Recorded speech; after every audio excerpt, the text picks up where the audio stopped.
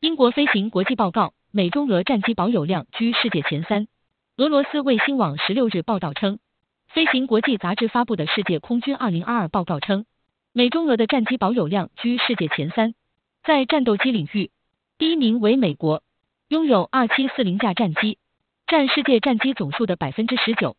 中国位列第二，拥有一五七一架战机，占全球战机数的百分之十一。